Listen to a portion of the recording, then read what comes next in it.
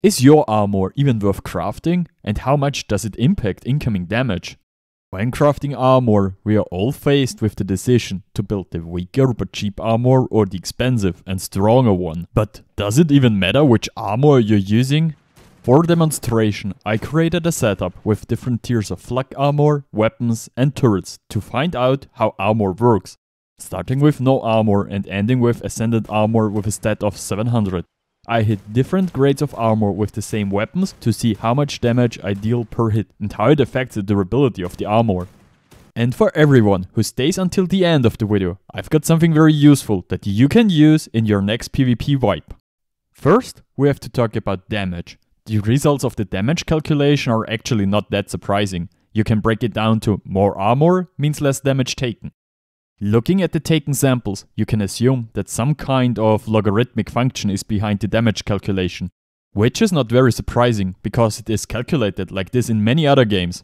This means that the max armor can lower the damage you get per hit significantly, but it also means that you don't need max armor to be great at PvP.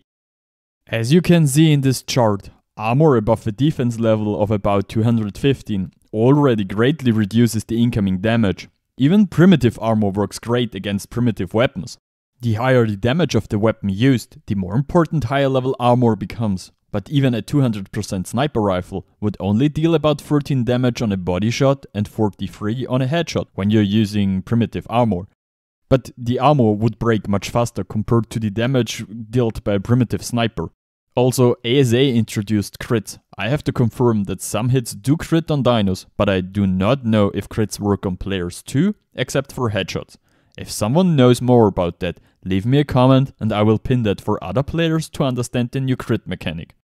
Durability basically describes the amount of hits your armor can take before it breaks and gets unequipped.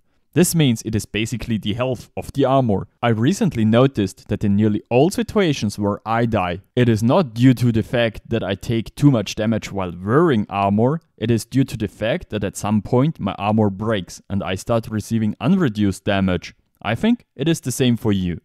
You can try this yourself. When you die, is your armor still intact? Or are there any parts broken? If I had to guess, in nearly all situations, at least one part of your armor is broken, and you received full damage to that body part, which was the reason you died. This means durability is more important than you think, because if your armor does not break, you never receive full damage. During our last PvP wipe, we already noticed that the loss of durability acted kind of odd. In ASE, durability was calculated based on the mitigated damage, against most damage types for every about 16 damage mitigated by your armor. Your armor loses a point of durability. It looks like this has somehow been changed in ASA. When hit with a primitive sniper rifle, all armor lost exactly 50 durability per hit, independent of the mitigated damage. This indicates that the durability reduction is no longer calculated based on the mitigated damage, but simply applied flat based on the damage of the weapon, with a 50 base loss for the sniper rifle, then increasing based on the damage. If we compare this to ASE version of durability, this means to lose 50 durability, it will calculate to 16 times 50, resulting in 800 damage that would need to be mitigated. This means that in ASE, armor lasts longer than in ASA. When using a 200% sniper rifle, player damage and armor durability loss both doubles. Thus, a 200% sniper rifle inflicts around 100 durability damage, while a 300% sniper rifle deals about 150 damage to the armor.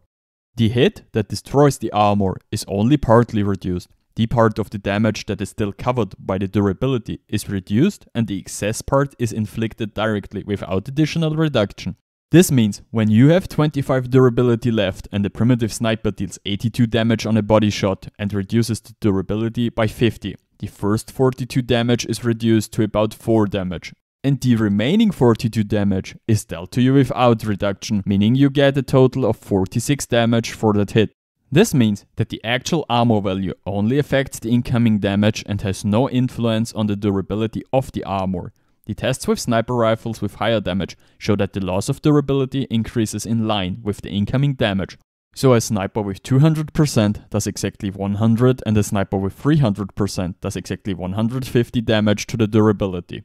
For primitive flak, this means that if it is hit by a primitive sniper, it will take two hits and break on the third one.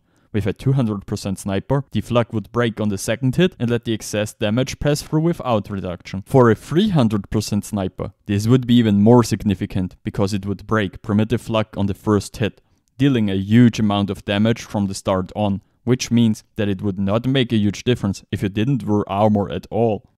The most important part for us as PvP players is probably how armor works against turrets. The damage and durability work similarly to all other weapons. The damage chart for turrets looks like this.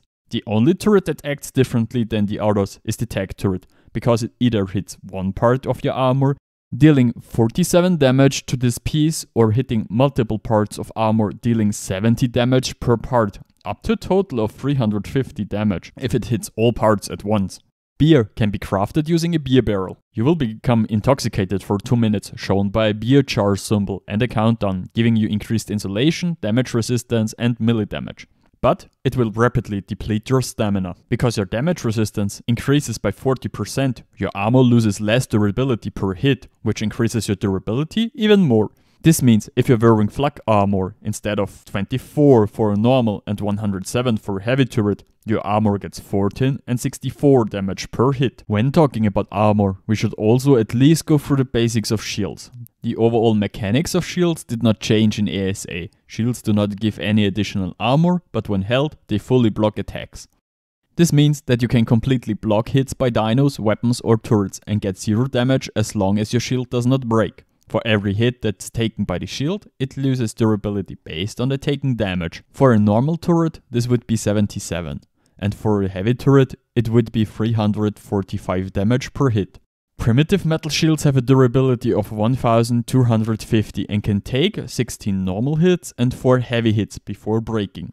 Riot shields have a durability of 2300 and can take 13 normal hits and 7 heavy hits it is totally worth getting good shields because they can get up to a durability of about 20,000, which means you can tank over 250 normal hits and over 50 heavy hits, which makes it possible to run single turrets by foot, especially if you have beer battle tartare and focal chili, which on the one hand increases your movement speed and decreases the damage you take after your shield broke.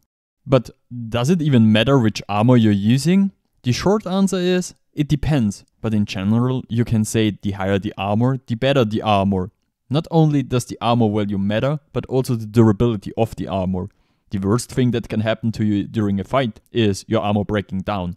Due to the fact that weapons deal flat damage to the durability instead of damage based on the mitigated damage, durability is even more important than before. Usually, you have med brews with you, which means that if you get a few hits, you can easily heal them as long as your armor stays intact.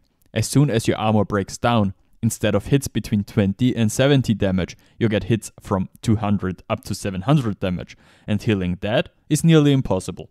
In general, you would go for the higher armor value, but if you have to decide between armor A with 250 armor and 400 durability versus armor B with 350 armor and 250 durability, you should go for armor A because of the overall higher durability and most likely lower costs, even if you take slightly more damage.